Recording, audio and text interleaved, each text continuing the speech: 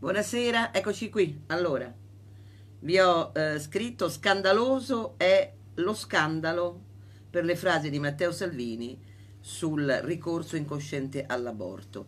La legge non è una forma di controllo delle nascite. Se cittadine straniere si presentano a chiedere la sesta, settima interruzione di gravidanza, qualcosa lo Stato deve fare. Ne parleremo perché ho visto veramente una polemica volgare, animalesca rispetto a una frase innocente legata a un dato reale che chiunque è in grado di appurare.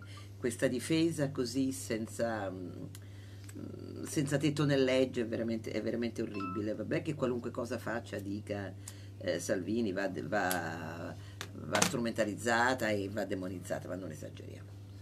Eh, elezioni, elezioni, è così. Attenzione, calma, vediamo. Questo governo litiga su tutto, non combina niente dai decreti sicurezza che non riesce a fare e ne parleremo, alla prescrizione che ancora è tutta da discutere, alle intercettazioni che sono ancora da incominciare. Poi vi voglio leggere due, eh, un, un, intellettuale francese di origine tunisina che si chiama Mamou e, e, Donald Trump che denunciano tutti e due con diverse parole, diverse ispirazioni, diversa cultura, ma altrettanta preoccupazione l'islamizzazione d'Europa. E d'altronde oggi leggevo il dato di un'intera provincia della Svezia in cui sono in maggioranza gli arabi, i bambini arabi in sei scuole materne su nove. Voi che dite? È finita la Svezia o no? Io dico di sì. Se a voi non sembra così, parliamone, ma a me sembra grave che non vi sembri così. L'islamizzazione dell'Europa, vi dicevo. Coronavirus, ancora tante, tante, tante bugie. Davvero il governatore della Toscana non intende mettere in quarantena i cinesi che tornano dalle vacanze e aspetta che lo facciano volontariamente perché sennò sarebbe razzismo? I che ragazzi, guardate. Sapete qual è la verità su questa pandemia, su questo coronavirus? Che a renderlo pericolosissimo lunghissimo probabilmente nel tempo e quindi conseguenza di profonda recessione in tutto il mondo, in specie in Europa, in Germania e Italia che super esportano e hanno relazioni commerciali forti con la Cina, sapete cosa sono due cose? Il fatto che quello è un orrendo regime comunista di mandarini che mentono su tutto e tutti hanno mentito all'inizio. Due parole per, per povero dottore cristiano che tra le cose che gli hanno detto e gli hanno detto, quando lui all'inizio ha detto qui c'è qualcosa che non va in questo virus, gli hanno detto tu vuoi mh, mm, turbare, turbare, la gente, eh, fare cose sediziose, eccetera, gli hanno detto perché sei cristiano, avete sentito una parola da parte del Vaticano, Gesù Maria.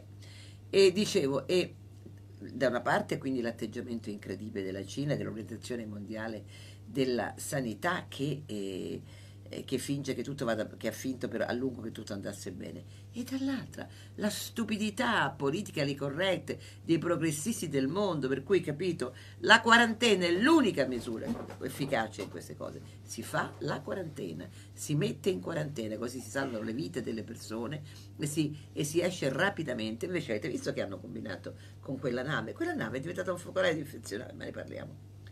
Eh, se ci siete, ci siete, siete arrivati? Ci siamo? Ok. Allora, incomincio con un sondaggio, perché un sondaggio ogni tanto ci va bene, era tanto che non ve lo davo. SWG di, di, di lunedì sera, 17 febbraio. Lega 32, 4%, come vedete i funerali sono rinviati. Partito Democratico 20,6, anche in questo caso perdono 0,1%, ma non conta. Il Partito Democratico, vuoi perché è grillizzato, grillinizzato, vuoi perché pesca dei grillini, è, è, e, e il recupero. Movimento 5 Stelle perde un punto a settimana, 13%. Fratelli d'Italia recupera, guadagna ogni settimana, 11,3%.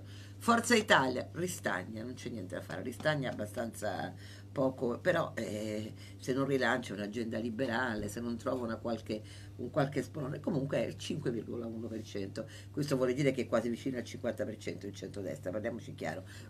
E attenzione nel fare questi conti, una campagna elettorale non è ancora iniziata. Quando inizia una campagna elettorale rispetto a quando finisce bisogna vedere quanti voti si è riuscito ad attirare, quanti elettori si è riuscito ad attirare. Italia Viva 4,2%, che è un dato lusinghiero rispetto al passato, rispetto alle passate settimane. Vi dicevo SWG, quindi fatevi due conti, guardate come siamo messi e vedrete che tra il centro-destra e il centro-sinistra c'è uno scarto di più del 10%, ok? Cominciamo con gli argomenti. Voglio cominciare con la politica. Allora, vi dico molto rapidamente come stanno le cose.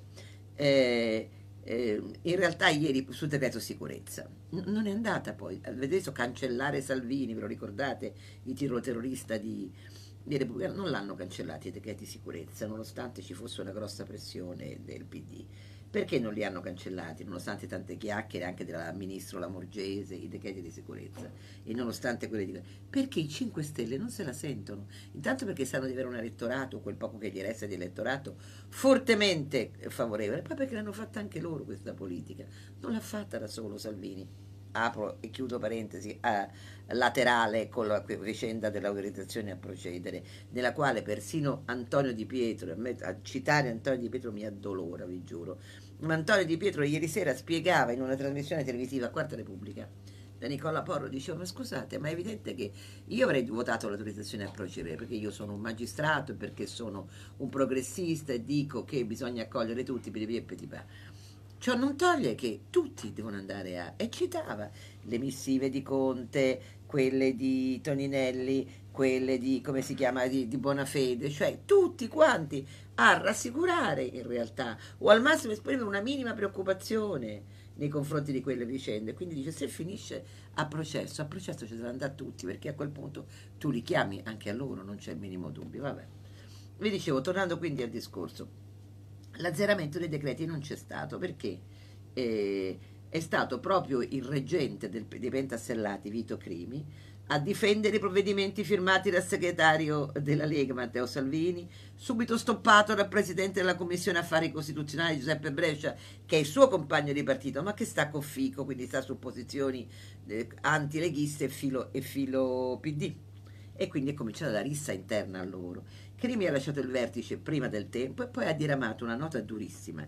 I decreti di sicurezza sono stati concepiti sulla scorta di una esigenza reale per affrontare criticità tutti evidenti. Capito l'antifona? E quindi non si mettono d'accordo questi. E ancora, sempre Vito Crimi, eh? Mm, non è un leghista che parla. Tornare indietro vanificherebbe i positivi risultati ottenuti. Ritengo che si debba affrontare questo grande tema senza assumere posizioni preconcette, ma lavorando oggi in vista del prossimo futuro, insomma, Nisba. I vertici pentastellati, insomma, sono disponibili a migliorare il DL Salvini, magari venendo del tutto incontro a quelle rilievi che aveva fatto a suo tempo Mattarella, ma non ad andare oltre quei rilievi posti dal Capo dello Stato nelle lettere inviate al Premier Conte nell'ottobre 2018 e nell'agosto 2019. Al vertice della sede di governo alla quale hanno partecipato sia il ministro dell'interno Lamorgese che il responsabile della difesa Guerini, eh, eh, si è deciso di andare verso due DL separati, quindi uno sulla sicurezza, l'altro sull'immigrazione ma non si è scesi nel dettaglio perché non sono d'accordo e quel che ha portato il titolare del Viminale è rimasto sul tavolo come dei testi, erano dei testi da, da, di proposte ma non preconfezionati e quindi tutte le interviste che ha fatto in questi giorni alla Morgese se li dovrebbe, come dire, deglutire. Ci vorrà del tempo per raggiungere un'intesa della maggioranza, ci vorrà del tempo e anche se loro promettono che lo faranno. Um, Vabbè, discorso di apertura al vertice, il ruolo dei magistrati, il braccio di ferro è principalmente sui, sui permessi umanitari. 5 Stelle non è d'accordo sulla necessità di allargare il numero di permessi rispetto alle scelte molto rigorose fatte dal ministro dell'interno Salvini. Quest Brescia, pur sottolineando che non si tratta di abrogare i decreti, ha detto che bisogna tutelare le categorie più deboli, frase bella che non significa assolutamente nulla. Non si è parlato della necessità di reintrodurre l'iscrizione all'anagrafe comunale, ma, dice la De Petris, pericolosa comunista storica, siamo tutti, è ora presidente del gruppo misto al Senato, siamo tutti d'accordo, anche 5 Stelle, perché l'iscrizione è legata al tema del reddito di cittadinanza, poveri noi, come se non ci avessimo rimesso abbastanza soldi con questo cedimento alle richieste dei 5 Stelle fatto dal governo giallo-verde due anni fa, un anno e mezzo fa. Un anno e mezzo fa, sì. Anche sugli SPRA siamo d'accordo che bisogna reintrodurli, rilancia Fratoianni che ha proposto il superamento della Bossi Fini, insomma ci sono le estreme sinistre che si lanciano verso l'apertura totale. Si tolgono le maxi multe, questo è grave perché significa lasciargli libertà di continuare a infrangere la legge alle navi delle ONG che, che, che violano il divieto d'ingresso nelle acque italiane, si torna alle vecchie multe inutili da 10.000 euro e da 50.000 euro fino a 50.000 euro, via anche la confisca della nave, rea di non aver rispettato il divieto, e oltre all'ampliamento della tipologia dei permessi speciali umanitari è previsto l'ok al ripristino della discrezionalità del magistrato che è chiamato a decidere la tenuità o meno dei reati di oltraggio, violenza e minaccia a pubblico ufficiale, insomma. Tutto molto anacquato, tutto molto indebolito, tutto viene privato di quel rigore, quel senso di urgenza e di necessità che avevano provocato, che avevano ottenuto dei risultati, il coraggio però di aprire completamente, eh, stavo per dire le gambe, invece scusatemi, i porti non ce l'hanno avuto. Perché?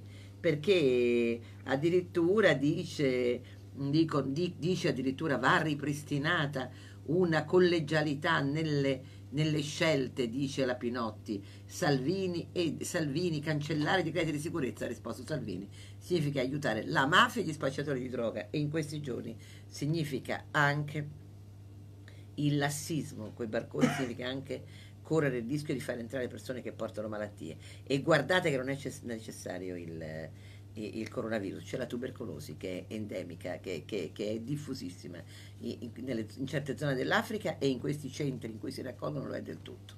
Parliamoci chiari, parliamoci chiari, è così.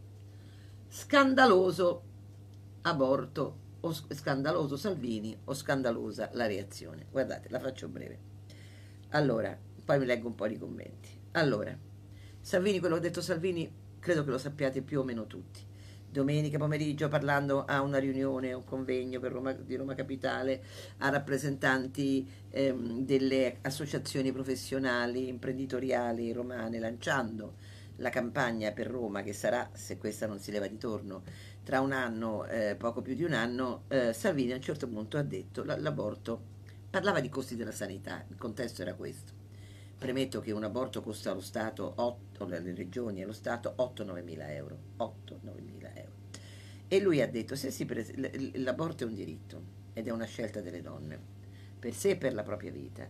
Non faccio un discorso morale, vi dico però che se, come mi hanno detto, si presentano a pronto soccorso donne che sono alla sesta, settima interruzione di gravidanza, è una scelta, uno stile di vita incivile, qualcosa lo Stato dovrebbe fare. Questo ha detto, e io sfido chiunque a dire che ha detto una cosa misogina, grave, fascista, che mette in discussione i diritti delle donne, giù le zampe dalle donne. Nicola Zingaretti parla un linguaggio ehm, elementare, come i ragazzini, le, la risposta è stata giù le zampe dalle donne. Vabbè.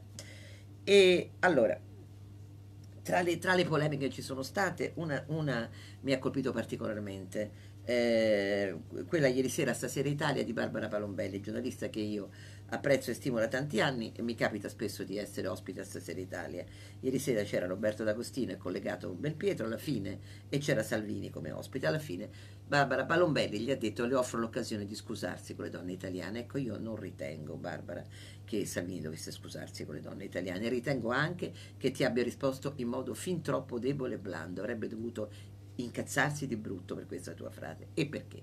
Perché non ha portato alcun attacco alla legge, ha portato un attacco all'uso orrendo di quella legge come forma di controllo delle nascite, come forma di, di, di, di eh, al posto di un preservativo, al posto di una spirale, al posto di una pillola. Questo ha detto, si rivolgeva a cittadine straniere ma se ci usi il favore tu e tutte le altre indignate speciali d'Italia e indignati speciali d'Italia che magari tornano a casa e picchiano le mogli, però poi fanno gli indignati speciali, se ci usi il favore di passare mezza giornata sotto il colonnato di San Pietro dove arrivano rom, nigeriane, rumene, eh, disperate eh, a cercare aiuto o vai al San Camillo, al pronto soccorso, sì, al pronto soccorso, perché anche se avete preso in giro Salvini per aver parlato di pronto soccorso, è al pronto soccorso che vanno queste persone. Intanto ci sono i pronto soccorso ostetico ginecologico, sappiatelo.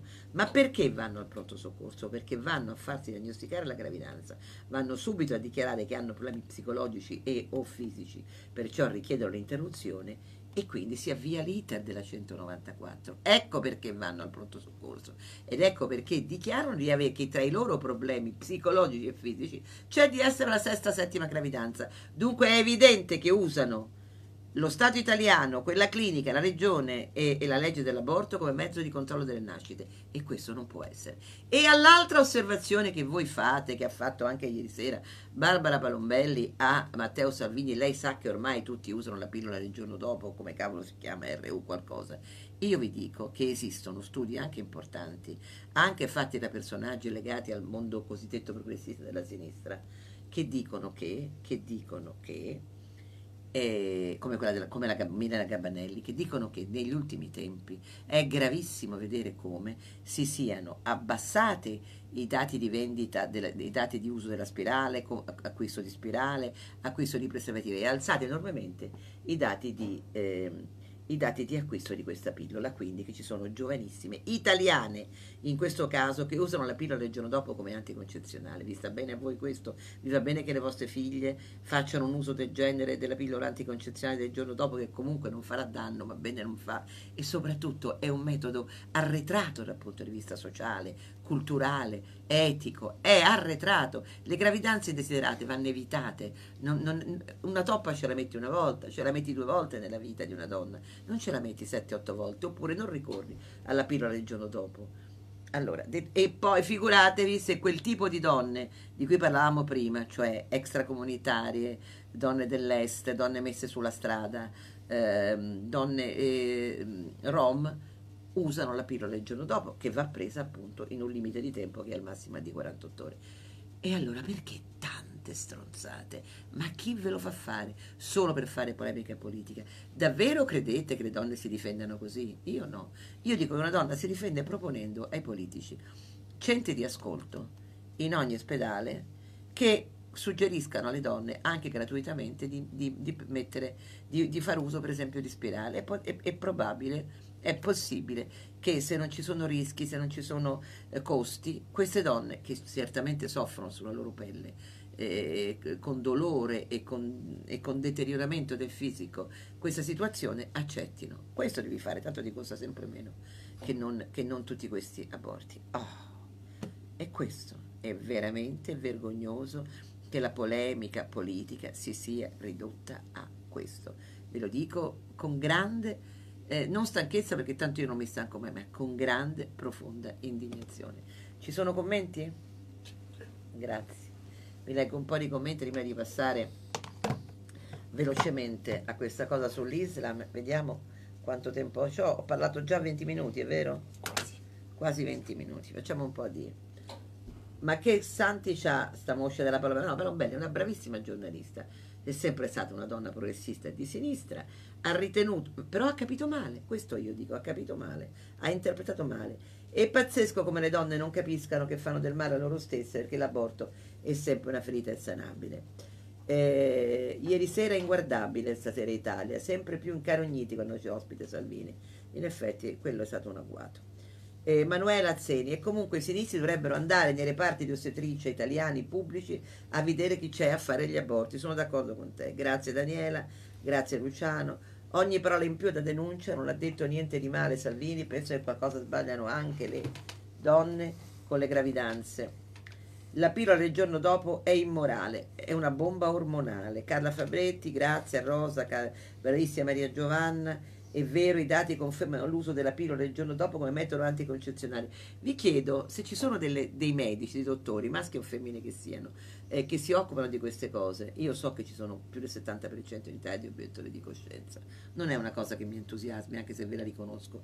Penso che non dovreste lavorare negli ospedali pubblici se siete obiettori di coscienza in numero così massiccio, perché poi significa che lo fanno sempre lo stesso piccolo numero di persone e da che hanno fatto i medici e i ginecologi, magari per far nascere, si ritrovano a far solo non nascere. Però a parte questo, è quello che è un mio dubbio, ma eh, nel senso che tutti sono liberi di fare obiezioni di coscienza, ma allora non devi stare là in una struttura pubblica, credo io. Ma a parte tutto questo, che, che è una mia considerazione all'atere in questo momento, mi piacerebbe sapere qual è l'esperienza vostra. Se, siccome hanno detto a Xavini hanno detto una cazzata, questa è stata la cosa che ha dominato in questi giorni. A Salvini hanno detto una cazzata e ci ha creduto, come ha creduto che il ragazzino lì, che il ragazzo tunisino a, a Bologna fosse uno spacciatore fatto sta che lì tre giorni dopo c'è stata una di quelle retate incredibili.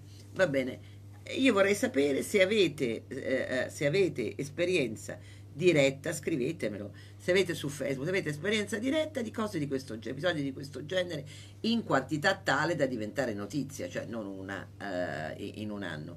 Cioè donne straniere, mh, mm, rom, extracomunitarie dell'est, dell'Africa, venute eh, in accoglienza, che vengono eh, alla sesta, settima gravidanza e a, a chiedere ancora di far ricorso. Buonasera Maria Giovanna, è vero i dati confermano l'uso della pillola del giorno dopo come metodo anticoncezionale. Eh, pillola per la salute della donna pericolosa, dice Marta Gaudenzi. Omar Bassani, mera strumentalizzazione contro Matteo Salvini. Carolina Pantani, pillola del giorno dopo è un abominio. Perché certe signore dell'informazione non vanno a fare informazioni in quei centri?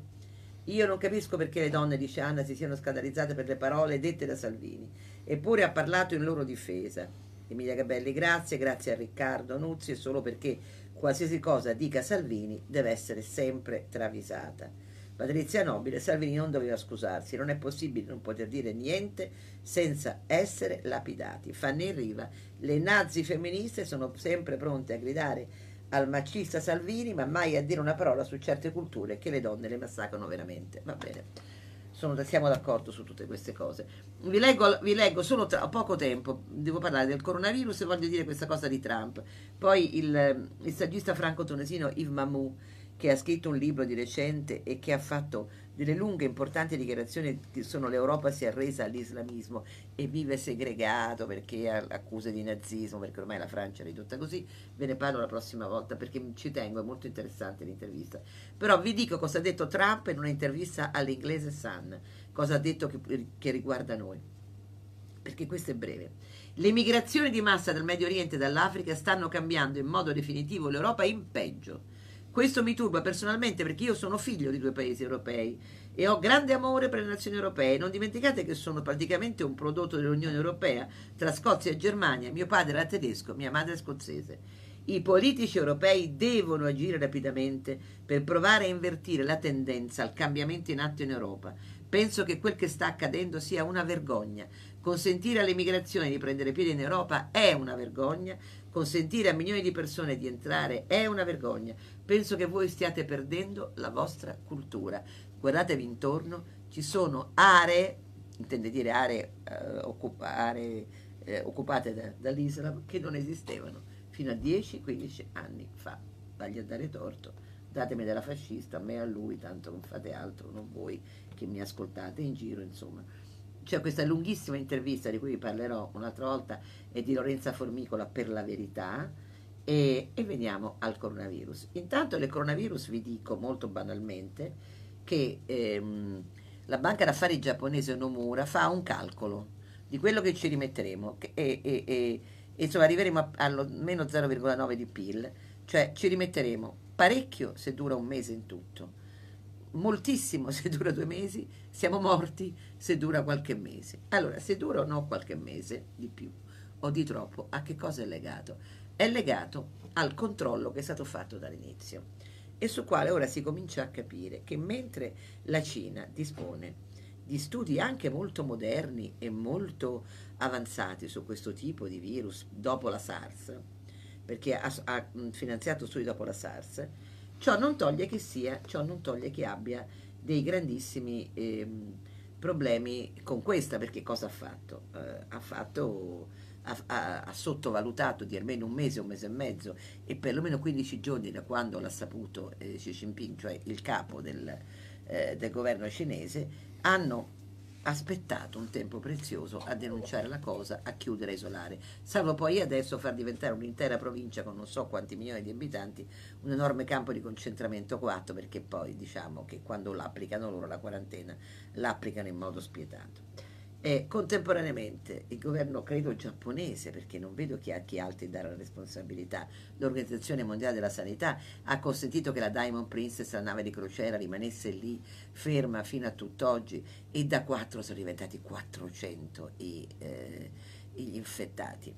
E quando gli americani si sono stufati hanno, hanno deciso di mandare a prendere i loro con, con l'elicottero allora si è capito che bisognava scappare. Forse adesso anche i nostri torneranno, non ho idea se Di Maio l'ha annunciato, ieri se lo stiano facendo veramente. Però che cosa ti fa capire questo? Siccome questi erano quattro casi, sono stati chiusi nelle cabine, probabilmente la reazione che gli ha fatto è per via aerea, il che vuol dire che sono pericolosi anche gli aerei, se... Ehm, che sono pericolosi tutti quei luoghi di ventilazione forzata per un certo periodo, chiamiamoli così, se tu non sai che se chi ci è salito è portatore asintomatico. La, la ehm, fase asintomatica pare che sia più lunga di quello che è stato detto all'inizio. È arrivato il primo caso in... Noi non sappiamo quanta gente, quindi, visto il ritardo con cui i cinesi hanno denunciato la cosa, quanta gente abbia circolato per quanti paesi impunemente, perché è così. Contemporaneamente c'è il caso in Africa. Ieri sera ero a Quarta Repubblica, il vecchio amico Piero Sansonetti, che più invecchia e più diventa comunista, eh, mi, ha, mi, ha, mi, ha, insolentito perché mi ha detto che io basta che, faccio, basta che me la prendo con i negri, ha usato lui questo termine, e sono contenta. Io ho solo chiesto quale tipo di controlli vengano fatti a Lampedusa e in altri luoghi di sbarco e, ha, e quello ha risposto il medico che gli era appena arrivato il, il, termometro infrarosso, quello per vedere se hai la febbre o no, ma la febbre ce la puoi avere per un milione di motivi e non sappiamo, non sappiamo in Libia cosa ci sia. Sapete che cos'è il sistema sanitario africano? Inesistente. O perlomeno esistente solo nelle grandi città, se prendi nazioni come la Nigeria. È un posto in cui c'è eh, eh, qualsiasi tipo di malattia come ancora debellata totalmente nel, nel, resto del mondo. C'è Ebola, i bambini muoiono a decine di a milioni di morbillo, ehm, c'è tubercolosi, non, un, non ci sono sistemi sanitari ci sono interventi di organizzazioni internazionali e stati stranieri che tengono la situazione più o meno sotto controllo. Ci sono zone in mano alla guerriglia, Boko Haram, eh, jihadisti, non ne sai assolutamente niente. Parliamoci chiaro, l'Africa è un focolaio di infezioni. Perché è più importante in periodo di, di, di, di coronavirus? Perché circola normalmente merci e persone dalla Cina, perché sono già molti anni che la, l'Africa è diventata un luogo importante di influenza economica, di, economica e, di, e massiccia di insediamento cinese. Se la sono presa l'Africa, i cinesi. E adesso, è, e adesso tu non sei in grado di controllare a chi abbiano trasmesso che cosa. Contemporaneamente viene fuori, quindi qua si tratta di capire, di avere nozioni molto più chiare di quelle che abbiamo. Eh, importanti virologi, come per esempio Ilaria Capua, dicono che i dati che abbiamo li devi moltiplicare per 10 e, e, e, sono accorati nel dire che c'è stato un ritardo nel, nell'isolare e denunciare la cosa, accorati e spaventati, quindi. Accorati e spaventati dobbiamo essere anche noi, stando attenti a non essere razzisti, ma essere spaventati, chiedere quarantene, Chiedere precauzioni non vuol dire essere razzisti e chi pensa questo è un mascalzone nascosto dietro il suo buonismo, come probabilmente si nasconde dietro il buonismo il governatore Rossi della Toscana che ha fatto tutti i discorsi l'altro giorno, che due, credo che siano 2500, forse di più, che tornano, sapete che in Toscana c'è un grosso, ci sono un sacco di cinesi tra Arezzo e Prato che hanno le loro fabbriche, le loro industrie, eh, gioielli, bigiotteria, eh, tessuti, gli stracci di Prato Bene, questi to- so- erano partiti prima che si sapesse del virus, vedete il ritardo? Vedete il ritardo che vuol dire? Erano partiti per andare a fare le vacanze, il capodanno cinese. Ora tornano perché vivono qui. E lui dice, niente quarantena obbligatoria, noi non siamo dei razzisti, la quarantena la faranno volontaria. Dopodiché questi probabilmente la quarantena la faranno volontaria perché la loro comunità penserà a, a isolarli, ma vi rendete conto della mancanza di capacità di essere autorevoli, di governare, di amministrare? A questo siamo ridotti. Voi davvero credete, loro davvero credono che accettare identità diverse voglia dire rinunciare alla propria? E non capiscono che così si pongono le basi per non avere una, Intanto perché gli altri pensano di soverchiarti e prendere il potere, e poi perché tu necessariamente diventi più aggressivo e persino alla fine razzista, imbecilli.